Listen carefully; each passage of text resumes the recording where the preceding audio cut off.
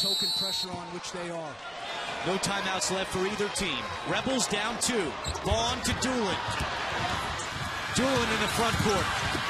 Finds McCaw with three. Floater.